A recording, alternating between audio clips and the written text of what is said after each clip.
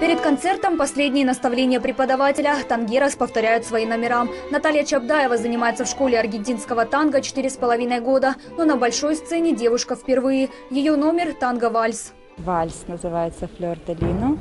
Э, Вальс – это всегда что-то вот легкое, летящее, парящее, э, такое вот э, невесомое. На сцене ДК милиции Тангерос демонстрируют как парные номера, так и общие. Говорят, аргентинская танго – это импровизация. В танце ведет женщину всегда мужчина. Через движение партнеры выражают свои чувства и эмоции. Сольный номер Виктория Озерская и Константин Горбаченко исполняют под композицию оркестра «Асфальда Пульезе». Мы каждый раз думали, что же лучше, что же интереснее будет под эту мелодию, потому что каждый элемент – это какое-то слово, просто вы его не слышите, это слово тела.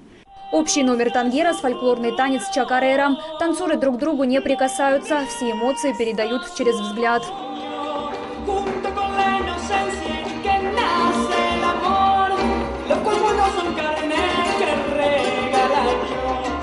Аккомпанируют танцорам Харьковский оркестр и Киевское трио музыкантов. В программе как классика танго, так и современные композиции. К шоу-концерту «Аргентинская танго» харьковские тангеры готовились около полугода. Ребята – это не профессиональные танцоры, это все они в обычной жизни, юристы, журналисты, программисты и, разные другие.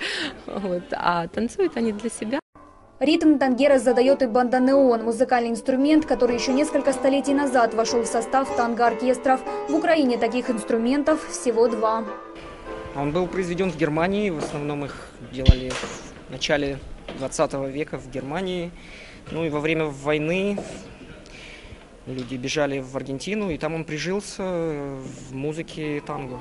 После концерта танго для исполнителей не закончилось. Впереди у танцоров усиленные тренировки и подготовка к новым выступлениям.